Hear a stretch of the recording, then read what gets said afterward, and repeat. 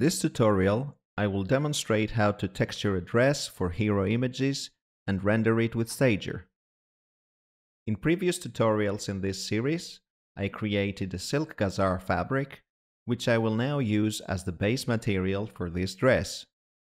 Substance Painter is a great solution for fashion asset texturing, and the way I will use it is by layering several elements. First, I will apply a variation of the base material, then I will use several height and normal layers to add folds, wrinkles, and other elements that will contribute to a realistic result.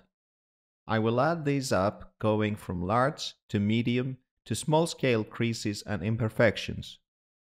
Finally, I will work on the French seams and the stitching.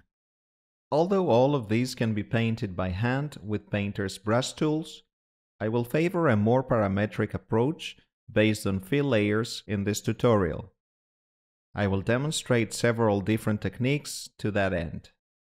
To start this off, I create a new Painter document with an Adobe standard material and I load my mesh. I set the document to 4K, check Use UV Tile Workflow as I will be using several tiles, and turn off Auto Unwrap as I want to keep my existing UVs. My UVs are laid out over four tiles, which are listed in the Texture Set List panel. Before I start texturing, I go to the shader settings, turn off subsurface scattering as I won't be using it, and enable anisotropy, which I will need to view my fabric correctly. Next, in the texture set settings, I click the plus button to add anisotropy level, anisotropy angle, and opacity to my existing channels. These are necessary to account for anisotropy and opacity on my fabric. I have to do one more thing before texturing, and that is to bake some mesh maps. Baking converts several characteristics of the mesh to maps so that they can be used by filters and generators. They are also combined with the painted textures when exporting the final maps. I make sure all my tiles are selected, set the resolution to 4K, and select the maps I want baked, in this case normal, ambient occlusion, curvature, and position.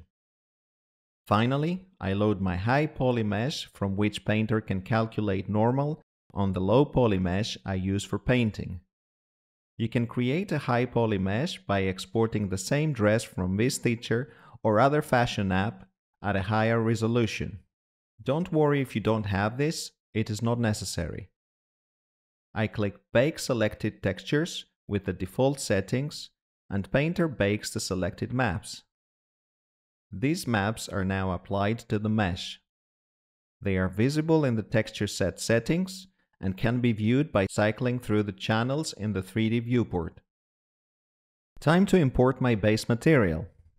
From Designer, I select Send to Substance 3D Painter with my package selected and the material appears in Painter's Assets panel. The process is the same if you use Substance Sampler to make your materials. I drag and drop the material onto the mesh and it becomes a fill layer in the layer stack. The parameters I created and exposed while making the material are here and I will adjust these as well as the material styling and filtering to get the desired result. If you haven't already, you may want to watch the previous tutorials in this series that show how I created a silk gazar material with four different methods.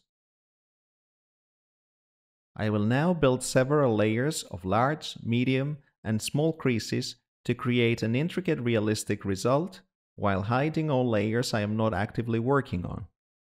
This will allow me to focus on each individual layer before I finally blend all the layers together. For large folds, I will load some displacement maps I previously created in the sculpting application and use them here as height maps. Substance Painter largely eliminates the need for sculpting directly on the mesh and favors a non-destructive workflow fully based on parametric texture maps. Using displacement maps generated from sculpting on the mesh as height maps brings together the best of both worlds. Loading the first map will load all four maps, one for each UV tile that I'm using. I create a fill layer, turn off all channels except height, and drag and drop the height maps into the height input field. I select the height channel in the layers panel and reduce the strength of the layer before naming it appropriately and hiding it. To create more large folds, I will make a second fill layer and only leave its height channel on as well as its color temporarily for visual clarity while editing. I right click on the material and add a black mask which will render the full layer invisible until I add brighter elements to it to reveal parts of the layer. I then right click on the mask and add a generator. I click in the generator field and select the UV border distance generator, which generates an area along the dress's UV islands, which are also its pattern seams. After adjusting the mask settings to start strongly at the edges of the patterns and taper off toward the inside of the patterns, I go back to the material settings and turn off the color, which was only there to help me visualize the result. I then add a 3D simplex noise to the height and adjust the settings to achieve the desired effect of large folds near the seams.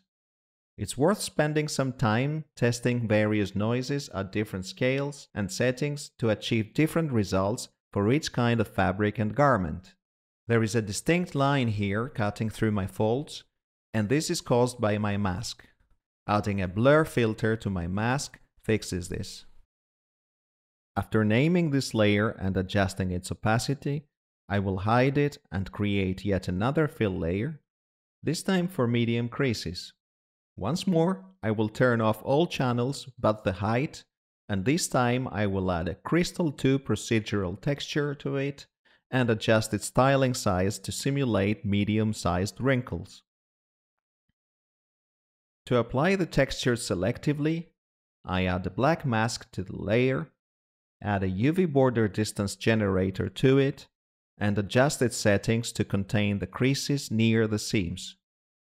I then add a blur at a low intensity to both the material and the mask to smooth out the creases a little.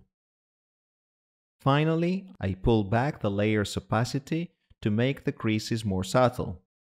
I then right-click on the layer and select Duplicate Layer from the context menu. This will duplicate the creases layer with all its parameters, masks and filters intact and it will be the basis for a new layer with smaller creases. From the material settings, I increase the tiling and reduce the scale to make the creases smaller, and I adjust the contrast, balance, and other settings of the procedural texture to get to more believable results. To finish this, I go back and adjust the materials and masks blur filters to get smoother transitions. It's now time to turn back on all of my layers and adjust their opacity so that they all combine in a convincing way. The result has to be subtle as this is essentially a formal dress, so I keep the height opacity numbers fairly low. Next, I want to flatten the seams a little to give the impression of French seams, which are seams used with sheer fabrics that attempt to be invisible by enclosing raw edges. To do this, I create a new fill layer with a black mask with a UV border distance generator. I leave the fill material to the default for now. I adjust the settings so that the mask affects around half a centimeter on both sides of the seams. In the Layers panel and in the Height channel, I set the Layers mode to Replace and the opacity to 10. This partly overrides the height of the previous layers and flattens the selected areas. I also add a blur with a very low setting to smooth out the transition of the mask. I name the layer accordingly and turn off all of my layers once again. Another great way to introduce wrinkles, creases, and folds is using the Inflate Shrink Wrap filter on a new fill layer and adjusting its settings to imitate specific fabrics. There are several options here that can combine to achieve considerably varied results. I use it here for some medium-sized folds on my silk gazar. I need some additional creases for the whole dress, and for this I will use a different technique. I click the plus button in the Assets panel to add an image I previously downloaded from Adobe Stock. Any similar image of a flat wrinkled fabric or sheet will do as long as it's monochrome, grayscale, or a normal map. I set the type to texture and import the resource to my project. I then create a new fill layer with only the height channel enabled and drag and drop the image into the height input field. For normal maps, you can use the normal channel input field. I adjust the size and position using the bounding box in the 2D view. Because the image is low bit depth, it gives me a grainy result, so I add a blur to the layer to eliminate this. I lower the layer's height opacity to make the result subtle and name the layer accordingly. Now I need some stitching and I will make it procedurally. To achieve this, I will combine two masks with UV border distance generators and one with a procedural texture. First, I add a new fill layer and adjust the settings to make a rough non-metallic with positive height for the stitching material. I then add a black mask with the UV border generator to the layer and set its parameters to 0.05 for balance, 1 for contrast, 0 for smoothness, and 0.1 for distance. I then add a second UV border generator and set its parameters to the same values except the balance at 0.04, leaving a short distance between this and the previous mask generator. This will be the thickness of the stitching. Finally, I set the second generator's mode to subtract. This will subtract it from the previous generator, leaving just a narrow line along the seams. Next, I add a fill on top of the generators and the fabric diagonal thin procedural texture to it. I increase the filter styling to 10 and the texture style parameter to 16 and set its mode to subtract. This will break up the continuous line, giving me individual stitches. Now I can go back to the stitching material and adjust the color and height. To remove possible unwanted stitching areas, as this method covers all seams, I add a paint filter to the mask and use a black brush over them. In some cases, manual stitching by creating a paint layer and using a stitching tool on it is preferred. For such cases, there are several stitching tools that ship with Painter, and they support several kinds of stitching, including running, double, and overlock, as well as several kinds of thread. I find it more intuitive and precise to use this technique in the 2D view, holding Shift while clicking, to create straight lines between selected points. One final check by rotating the light around the dress to identify potential problematic areas before exporting. Bear in mind that the scene's HDRI can be changed from the environment settings so that you can preview your model in several lighting scenarios.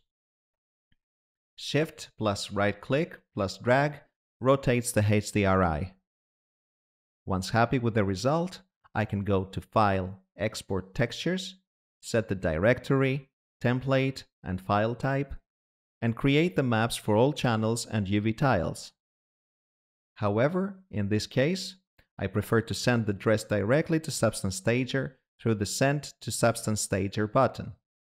Over in Stager now, the model loads with all maps in place, and as soon as I turn ray tracing on, it will render as intended. Rendering with the GPU tends to be faster depending on the computer specifications. I previously downloaded the mannequin from the Substance Asset Library and textured it with Painter. Shift plus left mouse button plus drag rotates the lights similarly to Painter.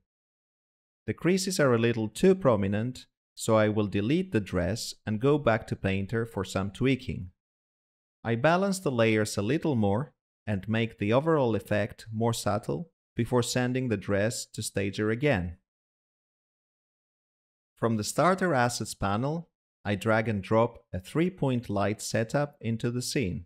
With the environment selected in the scene panel and in the light properties, I hide the environment light and adjust the key light settings so that it hits the dress from the front right and highlights the dress's features. I put the fill light front left and adjust it so that it partly fills the shadows created by the key light. I then play around with the backlight before deciding to take it off altogether, as it does not contribute to my scene. From the starter asset models, I drag a plane into the scene, rotate and scale it in the 3D view and using the transform panel so that it becomes my backdrop.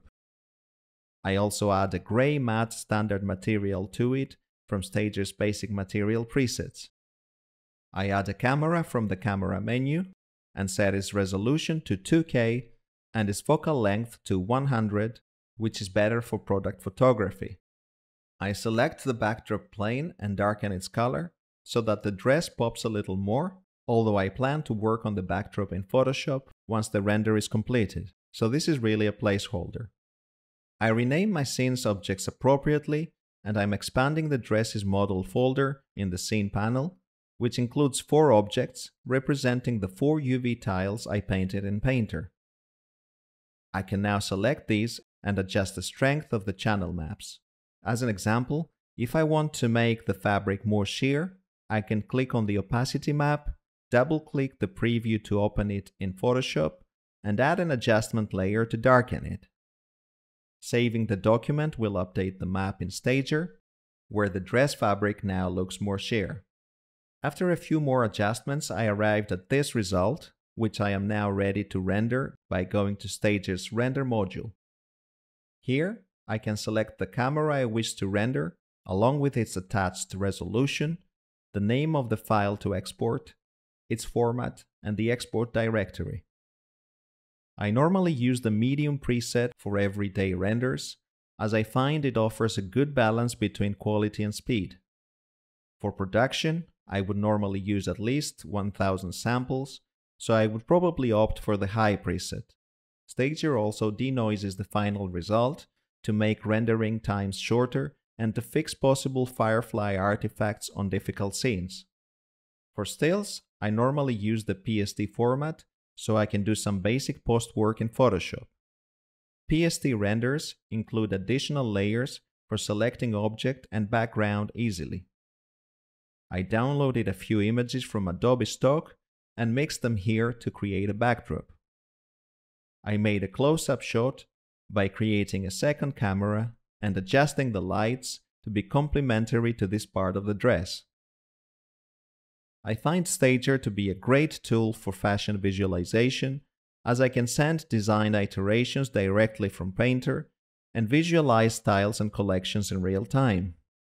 The latest Stager release also supports animation, so 360 turntables are now possible and very easy to set up and render. This concludes this series of tutorials on hero assets for fashion. I hope that you enjoyed it, and I look forward to seeing some of your work based on these techniques, as well as feedback on these tutorials.